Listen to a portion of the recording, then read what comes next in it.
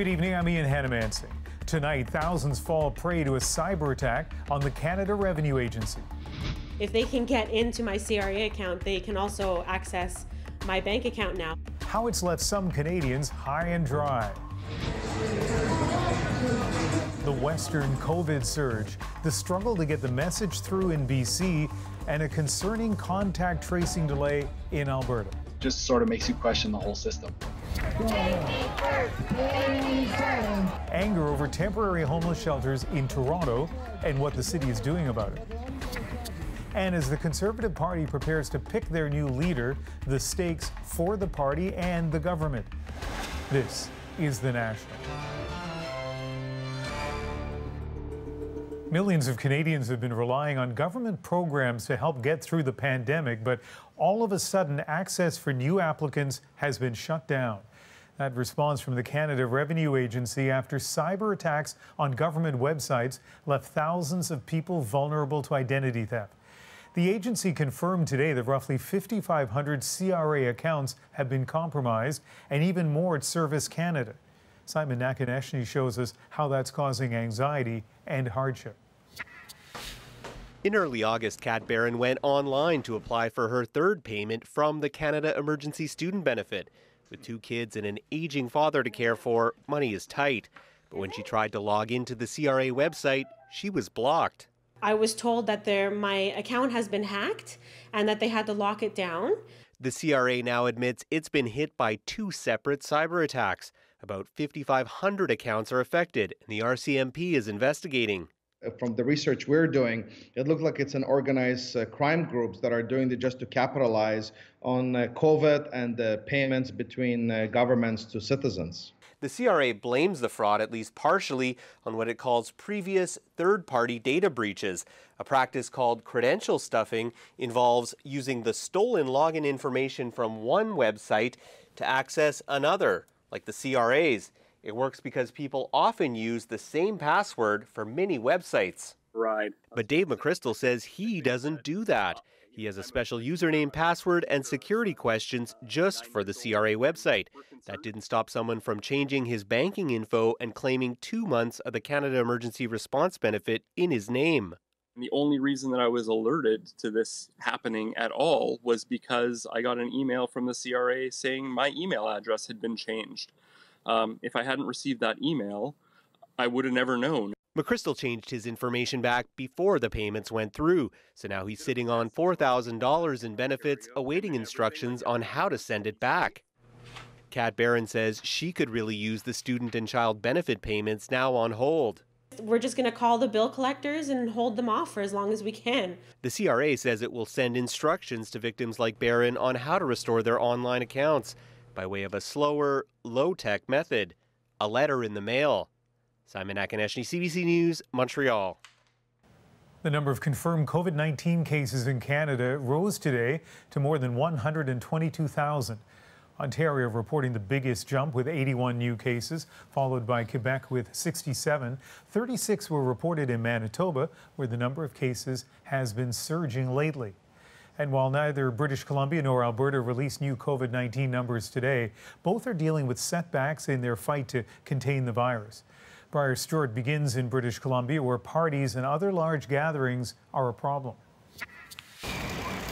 In parks along Vancouver's seawall this afternoon, there were plenty of groups, but mostly spaced out. It was a different story on Friday night on Granville Street, where there was an impromptu street party complete with a DJ.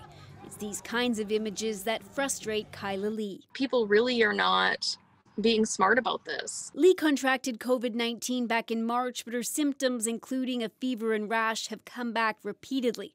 She says it's baffling that people aren't taking the virus more seriously. And to me, it just it's it's so selfish. Like you're putting everybody's life at risk because you can't handle the idea of having one summer where you don't party there has been a surge of cases in BC recently. The province says many have been connected to private parties, but there's been a number of exposure warnings at local bars and clubs. Just see tons of people. You see tons of people out. And the psychologist says people letting their guard down can fuel more complacency. People use social norms to figure out what is the appropriate thing to do more so than they use abstract numbers. If you see a lot of people doing something, it seems like more and more people think that that's appropriate. Next door in Alberta, cases have also gone up, and along with that, concerns around contact tracing. Adam McRae's family took precautions, but his pregnant wife and their toddler tested positive for COVID. It took eight days for a contact tracer to get in touch, and only after McRae took to social media. It was also a little disheartening to hear that they have a backlog, and we were really hoping we were just like following falling through the cracks. Just sort of makes you question the whole system. Health officials had always warned about a potential second wave come the fall, but more cases now, before the start of school, lead to concerns around just what could happen come September. Briar Stewart, CBC News, Vancouver. This year, with the pandemic, vacations often mean staying close to home, and that can include spending time on the water. And as we've been seeing this summer, it comes with risks. Kelda Yuen now with the scene of one Toronto beach today after a tragic weekend. Search teams were back at Toronto's Bluffers Park today. What began as a rescue became a challenging recovery effort. The waters are fairly rough. There are a lot of rocks. The conditions were similar yesterday when two brothers in the water signaled for help. One was rescued but died in hospital. The other is who divers spent the day looking for. Abdullah Mosley remembers the waves. Uh, it was pretty heavy. Yeah, that's what it was really wavy.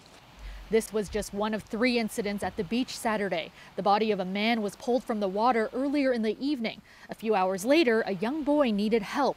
Two men who rushed to his rescue, both injuring themselves in the current. It was as rescuers were assisting them that they got the call about the brothers.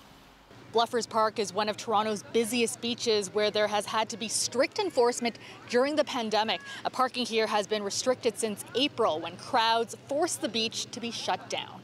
Barbara Byers from the Life Saving Society says the pandemic is likely changing habits. So while the pools are open, they have limited space that you have to reserve a spot. So it may be that people find it, you know, harder to go to pools to swim, so they're going to the beach. There, conditions can be unpredictable and there can be fewer lifeguards. Byers says 70% of all drownings happen in open water. So far this year, both British Columbia and Quebec have seen increases in drowning deaths. Quebec and Ontario have seen the most drownings. Last Tuesday, three family members drowned at Crescent Falls on the Bighorn River in Alberta. One was swept under the falls. The other two tried to help. Byers says one of the most important things to remember if you get in trouble is never fight the current. If you try and go back the way you came, you're going to be exhausted. So you want to go with it, but start angling yourself towards the shore. Kelda Yuen, CBC News, Toronto. Today in northwestern Ontario, nearly 4,000 evacuees began returning home to the town of Red Lake. The forest fire that forced them out was contained as of yesterday, officials said. Some Friday night rainfall was a big help. The residents began to flee several days ago when flames were just two kilometers away from the community.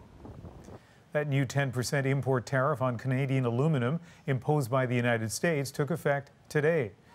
President Donald Trump has accused Canadian producers of flooding the American market.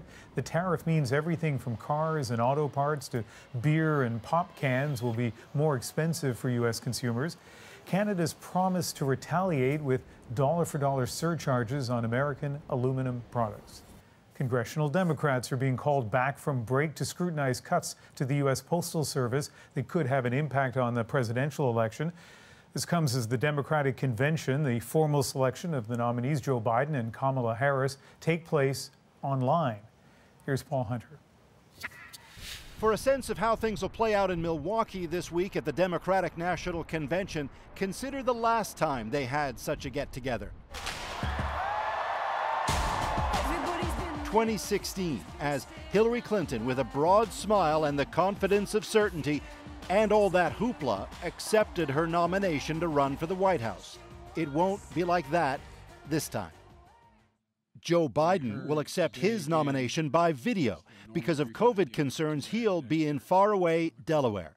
Likewise, most of the other speakers from all parts of the country will show up on screen only. Still, said former presidential hopeful Bernie Sanders today, the focus for Democrats remains the same. In this moment, we have got to do everything we can to come together to defeat Donald Trump, who, in my view, is the most dangerous president in the modern history of this country, and elect Joe Biden.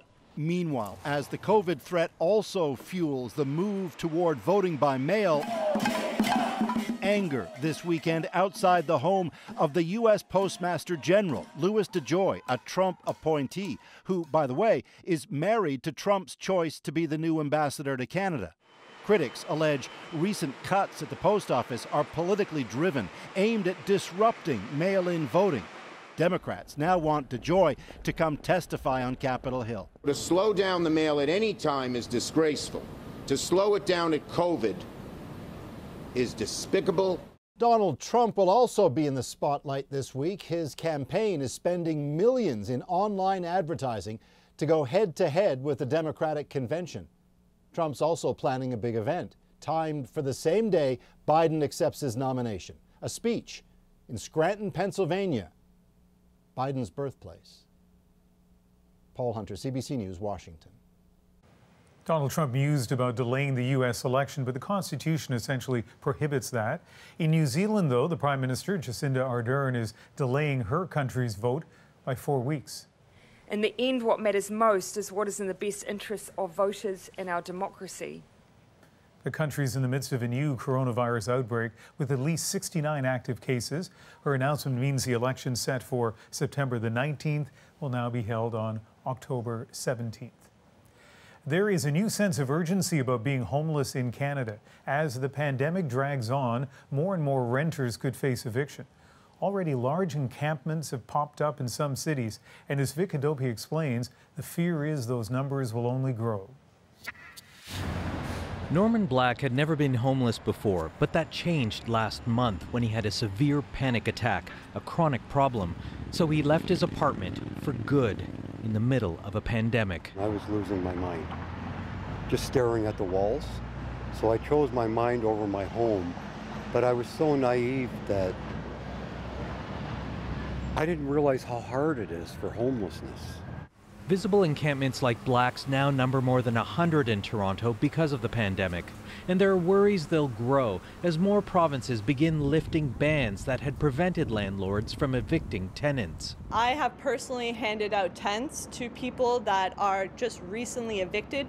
After outbreaks in homeless shelters, beds have been moved farther apart, often leading to fewer beds in a system that's already stretched. Every single time I call, uh, I can't get a bed for anyone.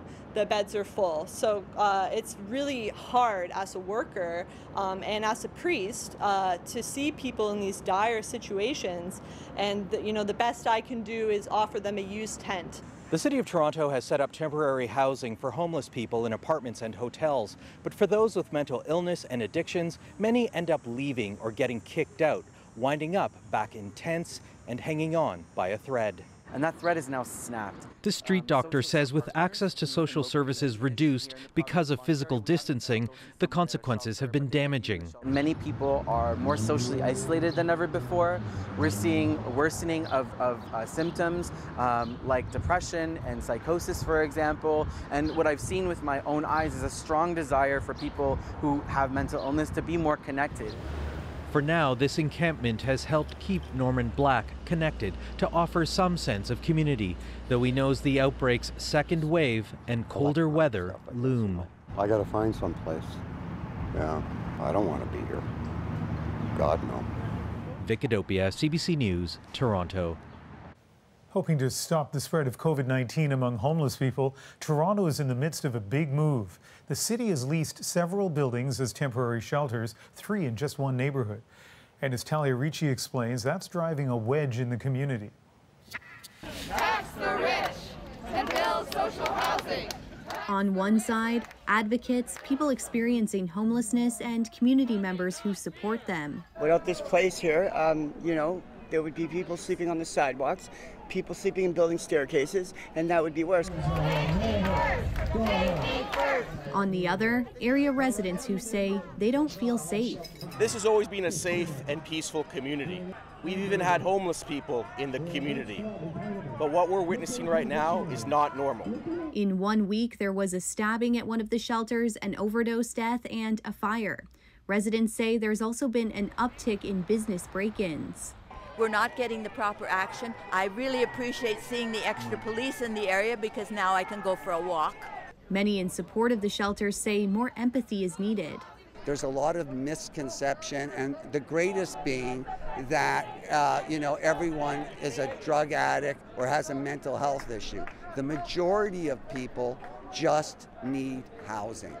The city says it's in discussions with both area residents and the shelters. It's taking steps to address some of the community's concerns like additional security, health supports, and a team to help clean up hazards like needles. Experts say that communication is important. I think what's really critical is that there is kind of democratic engagement and consultation across neighborhoods, um, across communities who are dealing with a new um, new space in which they're all collectively operating. Frontline workers say the pandemic has simply made an existing problem more visible. Shelter client Steve Longfield says he understands the community's concerns, but would like his new neighbors to know it's hard, it's not easy. We're not all bad. Talia Ricci, CBC News, Toronto. There is outrage again tonight in Belarus. Next on the National, hundreds of thousands protest in the face of a defiant president. Why Russia is now getting involved. The quick thinking husband who saved his wife by punching a great white shark. That's all I could think was just get off. Holy. And the Canadian toddler turned international golf sensation. We'll be right back.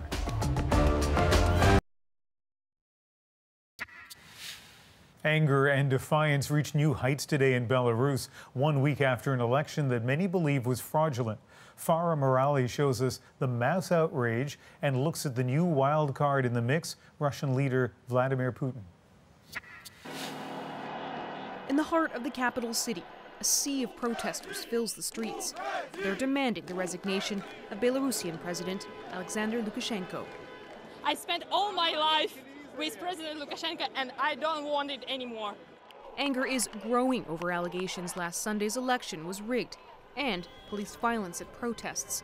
At least two protesters have died, and thousands have been detained. Earlier today, a smaller rally in support of Lukashenko. He rejected calls for a new election, saying the opposition would, quote, crawl like rats out of a hole if he bowed to pressure. He also accused NATO of building up troops at the border. NATO tanks and jets are on standby, he said, within 15 minutes reach of our borders. NATO has denied that claim. Lukashenko insists he took 80% of the votes fair and square, but EU foreign ministers are moving toward imposing sanctions on the regime. As protests escalate, the big question is what might Russia do? Lukashenko has been in talks with Vladimir Putin and says Russia is willing to step in with security assistance. Mr. Putin fears more than anything a democratic state on its borders. Aurel Braun keeps a close watch on developments and says they're reminiscent of what happened in Ukraine in 2014. The interesting and the frightening question in some ways is at some point, if we reach that kind of tipping point, what kind of decision will Lukashenko make? Will he view being pushed out of power more dangerous than having Russians come in and essentially give up most of his power? We will not go away today, tomorrow, week, uh, next week. We will stay here on the streets.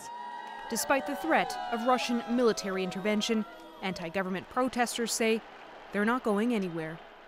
Farah Merali, CBC News, Toronto. An Australian woman is in serious condition after a great white shark attacked her off the coast in New South Wales over the weekend. She was conscious and breathing. Um, she seemed to be doing fairly well considering um, the lacerations to her leg. Her husband is the one who saved her, paddling out on his own surfboard to face the shark and punching it until it released his wife's leg. You see the mother of your child and your support, everything that's who you are, and so you just react. The beaches in the area were immediately closed and a search began for the shark. This is the third attack in the region in the last few months. The U.S. National Weather Service says it's investigating several reports of fire tornadoes yesterday in Northern California. This dangerous and rare occurrence likely sparked from the nearby Loyalton wildfire close to the Nevada border.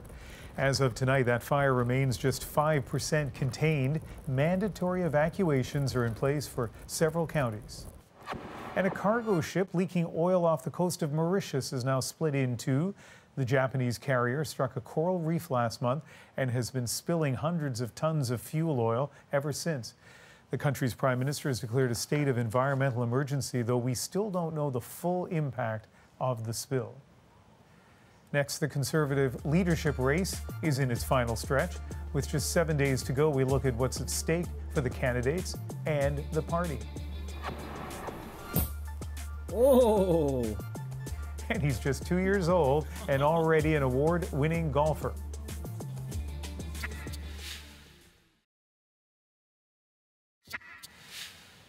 Welcome back. The Conservative Party is set to elect its new leader a week from tonight. It is a leadership race that has been anything but usual, with the pandemic changing how candidates campaigned and drawing out the contest for two extra months. Well, Mr. Speaker, it looks like my last question period as leader of the Conservative Party is, is just like my first. Warm, sunny, and the Prime Minister nowhere to be found. That was Andrew Scheer earlier this week during his final appearance in the House of Commons as leader of the official opposition. Now, four candidates are vying to replace him former cabinet ministers Peter MacKay and Erin O'Toole, political newcomer Leslyn Lewis, and first time MP Derek Sloan. 10 months into a Liberal minority, the stakes are high for the Conservatives. The global pandemic, of course, an economic crisis, and a government facing yet another controversy, all factors that could play into how members vote. The process is already underway by mail. Party members will use a ranked ballot system. The winner needs at least 50% plus one to win. If that doesn't happen on the first ballot, we could see up to three more rounds.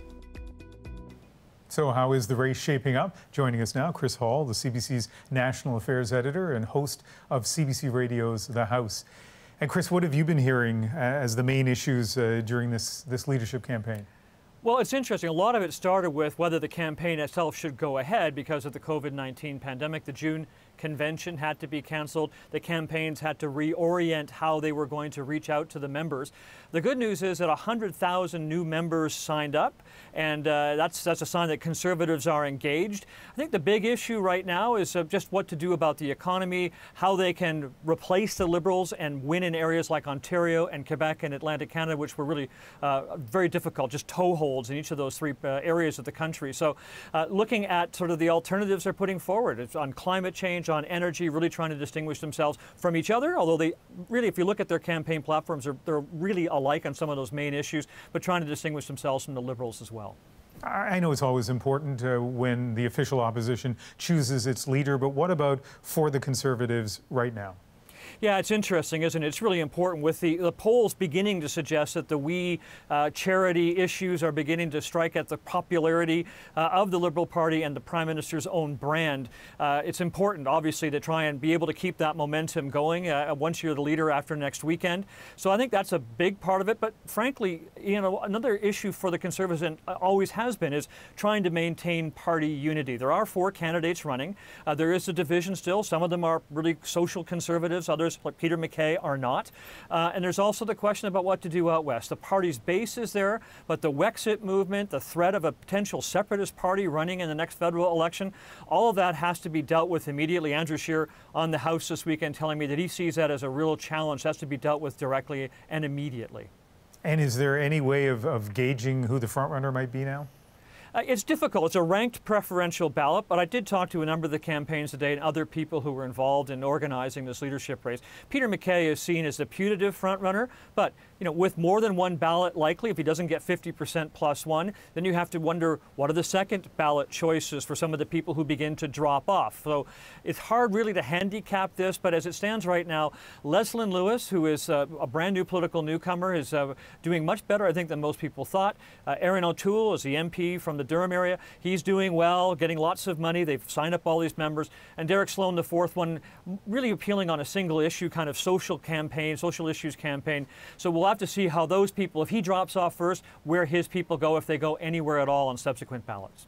Always so nice to have your analysis. Thanks, Chris. Thank you, and good to see you. So, with the Conservative leadership race entering its final stretch, the National will be profiling all four of the candidates throughout the week, starting tonight with the candidate who had this to say shortly after his party's loss after the last election. Yeah, to use a good Canadian analogy, it was like having a breakaway on an open net and missing the net. it was that moment that fueled leadership rumors around Peter MacKay, a familiar name to many of us, as he tries to make a political comeback. Here's Power and Politics host Vassy Kapelos. I talk to Canadians everywhere Peter MacKay always predicted he'd never stray far from politics. One thing I did learn from Jean Charest is you never say never. Uh, you never close doors. That was all the way back in 2001, before he ran for the leadership of the then Progressive Conservative Party of Canada. What a night. he won that race in 2003, but it was a brief leadership. By the end of the year, the PC party merged with the Canadian Alliance, led by Stephen Harper. Though some of MacKay's colleagues claimed he betrayed them, MacKay insisted that wasn't the case. It's the policy and it's the people and the direction that this new party will take that I believe will convince those who have their reservations that this is progress. MacKay didn't challenge Harper for the leadership of the newly merged party. Mr. Peter Gordon MacKay when the party came to power in 2006, MacKay began a ministerial career that would see him lead significant portfolios foreign affairs, defense, and justice. MacKay was first elected in 1997 in the same riding once held by his father. Elmer MacKay was a senior minister under former Prime Minister Brian Mulroney. I didn't grow up with a burning desire to be a politician. I mean, I was around politics. Yeah. Um, I had vicarious experience through my father. And now Peter MacKay has come back to politics after a five year absence. His message? A progressive one. People need to see themselves in this party. It needs to modernize. We have to have a comprehensive plan for the environment. It's not enough to just say we'll get rid of the carbon tax. We have to say what we'll do to address escalating greenhouse gas emissions. And we have to reach out to younger generation. I am pro-choice. I'm for equal marriage.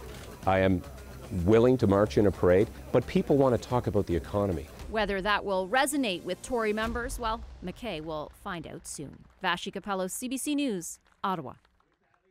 And we will have more on the Conservative leadership race through the week, what you need to know about the other candidates, and what's at stake for the party. And all of that leading up to next Sunday. Our chief political correspondent, Rosemary Barton, will host special coverage on CBC Television, CBC News Network, and CBC Gem. We'll have the results and analysis throughout the evening, followed by a special at issue panel right here on the National. Boeing 737 MAX was grounded long before the pandemic, but now it is one step closer to returning to the sky. Next, the view from the cockpit and from insiders on what led to the deadly crashes and whether anyone will ever be held accountable.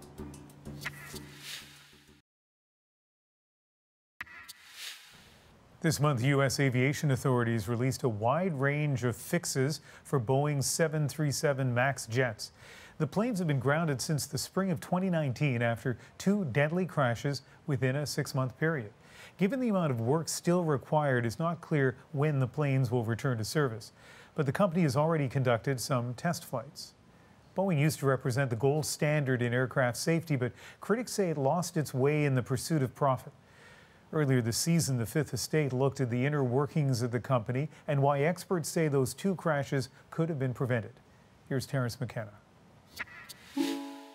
Cradle me, I'll cradle you. This is the story of Danielle Moore, a 24 year old marine biologist from Scarborough, Ontario, and her parents Clarice and Chris. Just for your eyes. Danielle is such a good kid.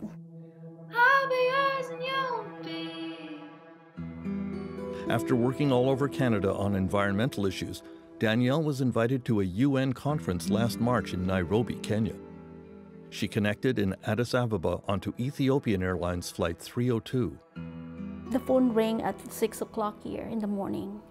They said, um, it's, uh, it's about Danielle. They said the plane crashed and I. Clarisse just screamed out, Danielle's dead. That, that minute, I knew I was dead. I was just, you know, forever. Everything's changed. The plane crashed into a field about 30 miles from the airport. It hit the ground at over 500 miles per hour. There were immediate comparisons to another Boeing 737 MAX flight that crashed in Indonesia just over four months earlier. Both planes crashed because of a flight control system called MCAS, the Maneuvering Characteristics Augmentation System, which was designed to push the aircraft nose down in the event of a stall. The existence of the MCAS system was concealed from pilots, part of an effort to save airlines money on pilot training. We asked two American Airlines pilots to come to a Boeing 737 simulator to make a detailed assessment of what the pilots faced in the minutes leading up to the crashes. Captains Dennis Tajer and Jason Goldberg have been flying 737s for many years.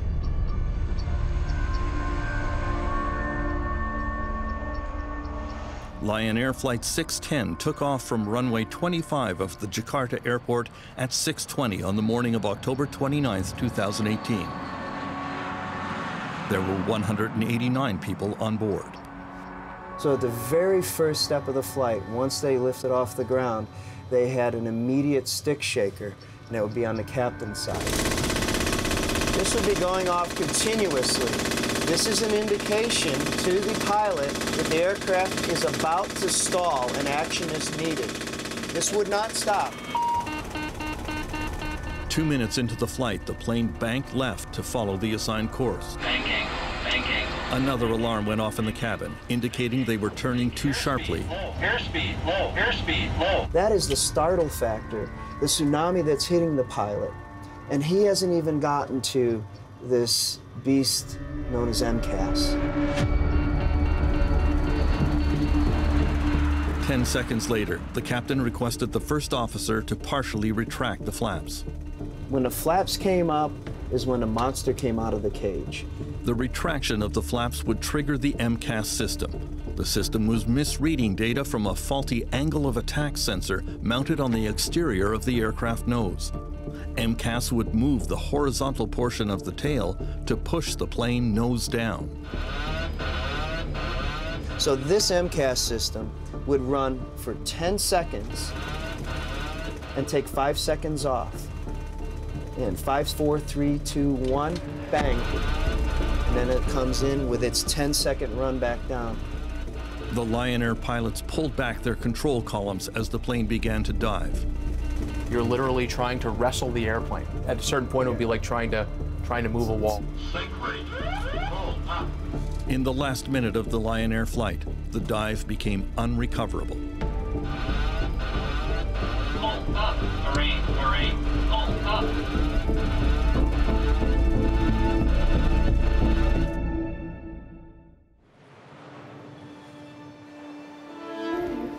At the end of October in Washington, D.C., crash victims' relatives arrived to see Boeing CEO Dennis Muilenburg testify before a congressional committee and answer some tough questions about the 737 MAX crashes.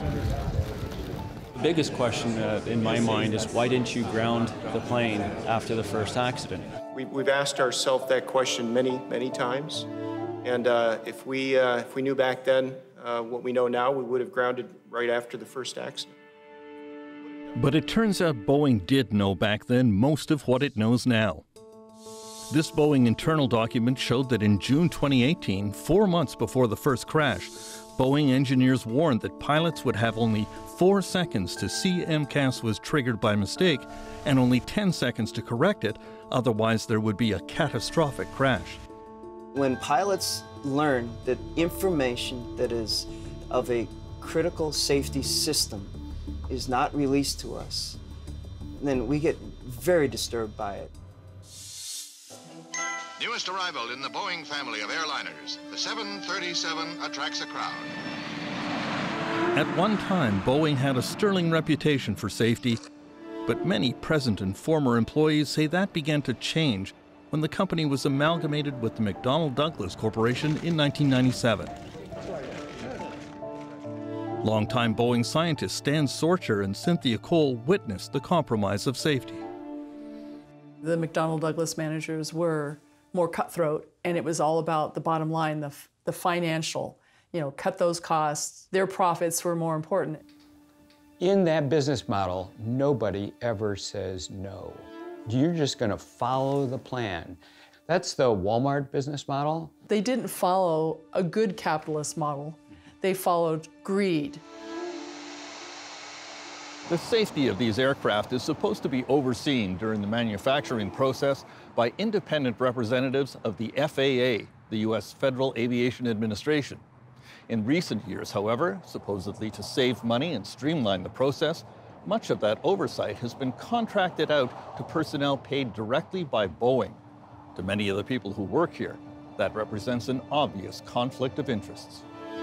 Well, the downside is someone can threaten your position at work. You can you can be, you know, play ball or else. And the managers could say, you know, keep your mouth shut or you lose your job. So it isn't just salary, it's your salary increase, it's your assignments. You could be reassigned uh, to another thing. You could be replaced by somebody who's less uh, capable of resisting pressure. Relatives who have lost loved ones, if you could please stand so we could thank you all. Thank you for being here. If you could just uh, stand. Mr. Muilenburg, as I watched those loved ones stand, my anger has only grown. These loved ones lost lives because of an accident that was not only preventable, but was the result of a pattern of deliberate concealment. Boeing came to my office shortly after these crashes and said they were the result of pilot error. Those pilots never had a chance. These loved ones never had a chance. They were in flying coffins as a result of Boeing deciding that it was going to conceal MCAS from the pilots. Senator, if, if anything I can leave with you today, I want to reinforce the culture of safety at Boeing. Dennis Muilenburg repeatedly emphasized his commitment to safety and the values he was taught as an Iowa farm boy. Grown up on a farm in Iowa, my parents taught me the value of hard work and integrity. At the conclusion of the hearings, the mother of one victim confronted the Boeing CEO. Well, you talked about Iowa just like one too many times, and the whole group said, go back to the farm. Go back to Iowa. Do that. You're not the person anymore to solve the situation. But I want to say it to you directly because I don't think you understand what we're saying. I, I, I respect that. I really do. In the end, it's about safety. And I, Even I if you're not capable of doing that. I, I respect your, your inputs there. I just tell you, we are very focused on safety. You know, Boeing are capitalist extremists. They're right at the far end, and they're just, there's no safety that they're looking at. And, and it's just, I can't believe it. This is corporate manslaughter, you know?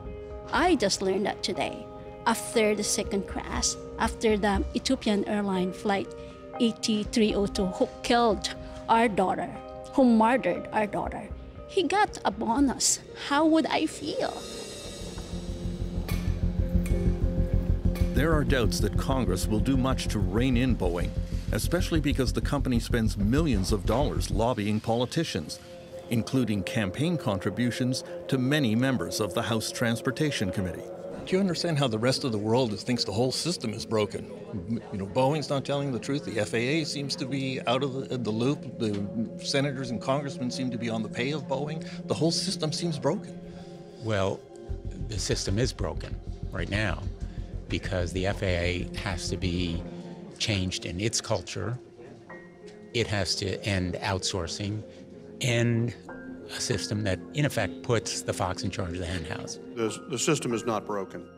Uh, At hearings in December, the new FAA Administrator Stephen Dickson tried to defend the integrity of his organization.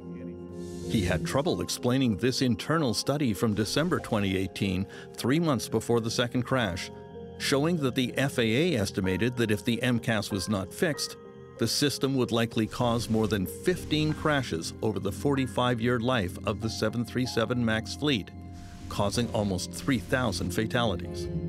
At the time, that information was not shared with the airlines or the public. Is the system broken? Oh, clearly it failed.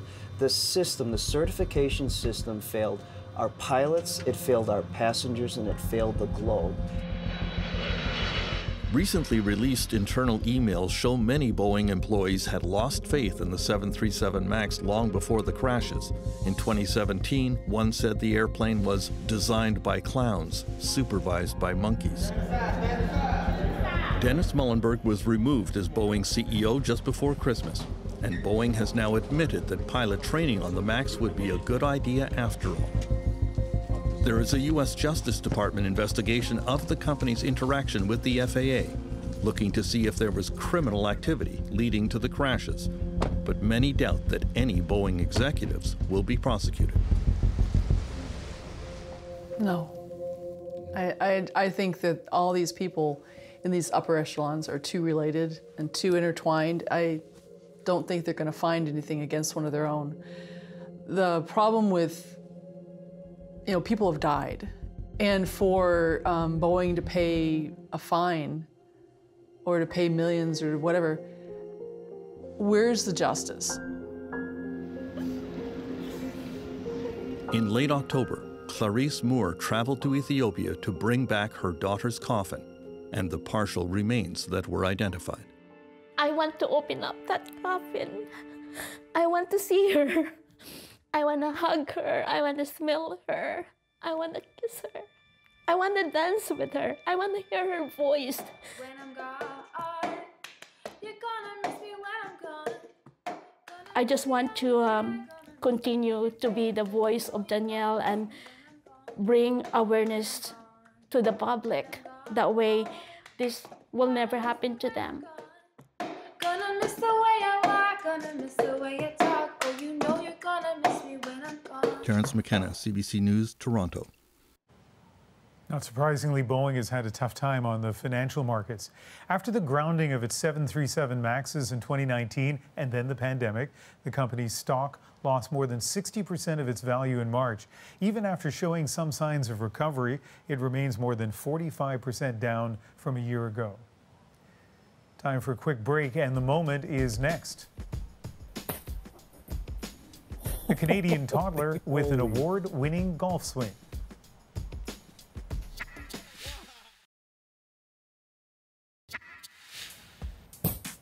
Whoa! If you've been working on your golf swing this summer, you might want to take a couple of pointers from this kid. At just two years old, Jack Canton from Noelville, Ontario, won an international golf swing contest. His form and dedication to the sport makes that swing our moment tonight. Oh man.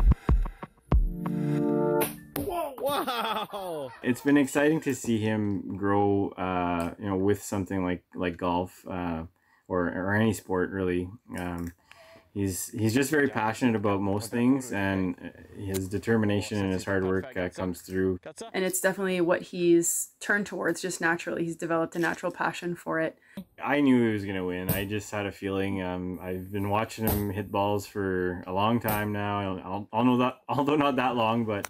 Um, I could tell, you know, just being a golfer and any golfer who's seen him swing already, uh, you, you can just see something special there.